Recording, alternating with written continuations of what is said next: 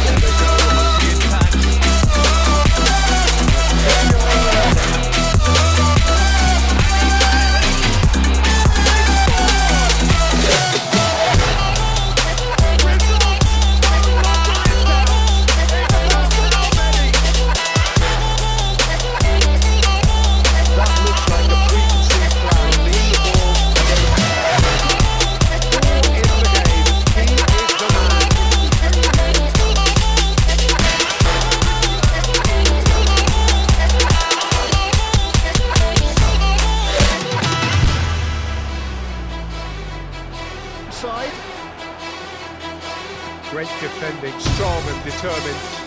Looking for the run-up.